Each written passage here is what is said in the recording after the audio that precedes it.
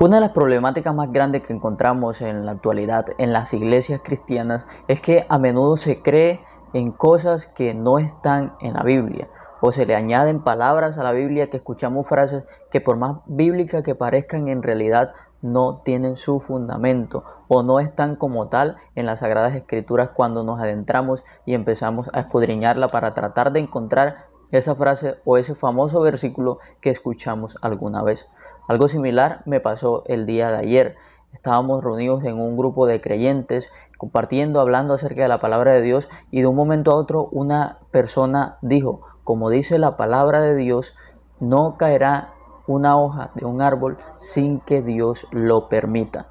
De una vez, aunque no soy la persona que lee más la Biblia que los demás, esta frase me causó ruido y yo me preguntaba en qué parte de la Biblia está esto, porque como tal nunca o no recordaba haberlo encontrado en la Biblia esta frase exacta y esta frase en específico. Eh, la había escuchado anteriormente. Como digo, es común en la iglesia esta frase, creo que es uno de los versículos invisibles, por decirlo así, más famosos. No caerá ninguna hoja del árbol sin que Dios lo permita. Y para esto, para comprobar que realmente las personas creían que esto estaba en la Biblia, eh, le pregunté a varias personas acerca del versículo. Les preguntaba, hey, ¿has leído en la palabra el versículo que dice, no caerá ninguna hoja de un árbol sin que Dios lo permita? Y las personas me respondían que sí, que así habían leído el versículo, pero que no se acordaban o no podrían decirme exactamente en qué libro y en qué cita específica se encontraba.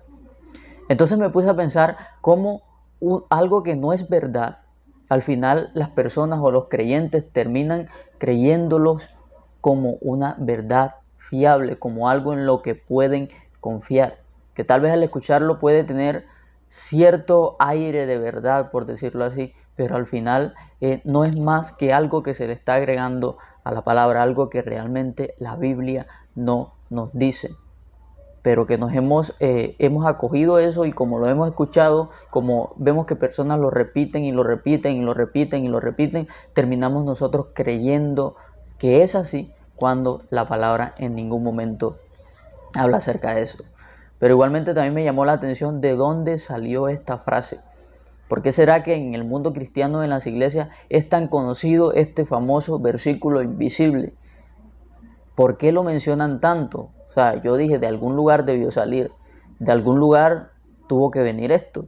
Y así fue que me puse a investigar y la verdad puede que te cause un poco de gracia el origen de esta frase, o tal vez no, si ya lo sabes, pero encontré que esta frase en realidad sí se encuentra en un libro. Y sí es un libro muy famoso, sí es un libro muy vendido en todo el mundo, pero no es la Biblia.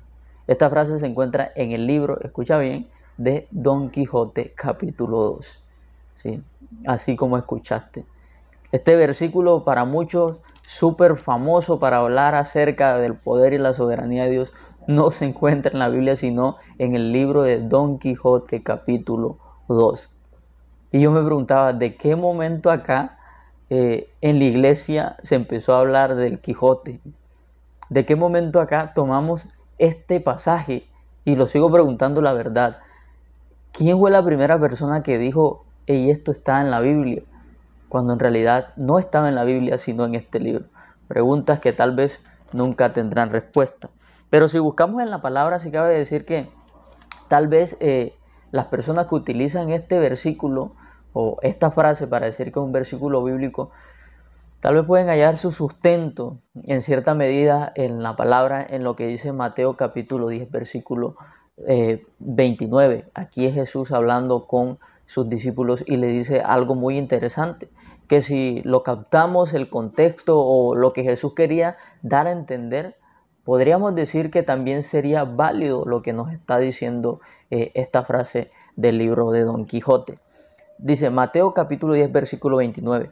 ¿No se venden dos gorriones por dos moneditas? Le pregunta Jesús a sus discípulos.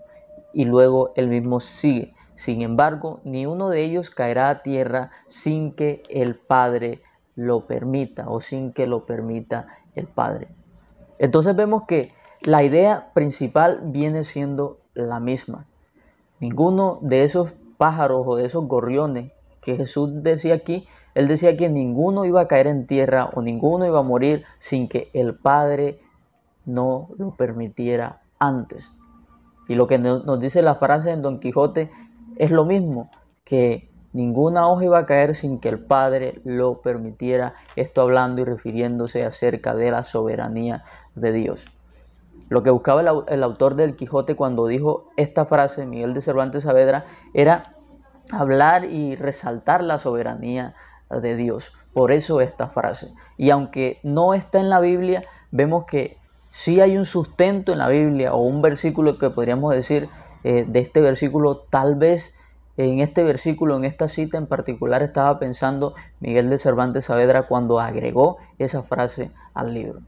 Pero aún así, eso no, eh, no quiere decir que no sea mentira lo que hemos estado repitiendo una y otra vez. Por eso es importante el estudio de la palabra.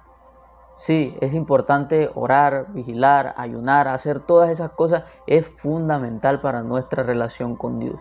Pero qué bueno sería que también leyéramos la palabra, que no traguemos entero cualquier cosa que escuchemos, que la palabra dice esto, sino que escudriñemos verdaderamente, busquemos la fuente. Eso también es bueno, estudiar la palabra, que cuando nos digan algo nosotros, nosotros sepamos discernir o sepamos decir, hey, verdaderamente esto yo no lo he visto en ningún lado, o si me estás diciendo esto, muéstrame el sustento bíblico, porque de esta manera eh, tal vez esta frase de alguna u otra manera tiene un sustento bíblico, pero así pueden hacer cosas, enseñanzas, doctrinas que van a estar completamente alejadas de la palabra de Dios y ya lo hemos visto en la actualidad con diferentes doctrinas, corrientes de pensamiento, que si nos vamos a la Biblia encontramos que no habla acerca de ello, acerca de esos pensamientos en ningún lado. Por eso es importante, y no sé, así como este versículo en particular, hay otras citas, otras cosas que la gente dice que está en la Biblia, que está en la palabra, pero que, que si averiguamos vemos que no es así. Creo que la iglesia como tal debe ser una iglesia instruida, importante, que conozca su palabra. Una iglesia que conozca lo que Dios nos ha dejado para que sea nuestra guía y nuestra dirección. La Biblia para nosotros los cristianos es como nuestra constitución política. Lo que es la constitución política para un país y para una nación debe ser la Biblia para todos y cada uno de nosotros los creyentes. Debemos dejar la pereza, sacar tiempo para estudiar, sacar tiempo para meditar. Moisés le, le, decía a Josué que meditara en la ley de día y de noche, que meditara la palabra, en la palabra encontramos la verdad. Conoceré la verdad y la verdad os hará libres. Y esa verdad se encuentra leyendo la palabra, escudriñándola y permitiendo que Dios nos enseñe a través de ella. ¿Qué opinas tú acerca de esto? ¿Habías escuchado también este versículo invisible, como yo le digo? Deja tu opinión en los comentarios. Eh, comenta si en realidad pensabas o tenías también el pensamiento o creías que esto estaba en la Biblia. Sin más que decir, mi nombre es Wilton Martínez y nos estamos viendo por aquí después.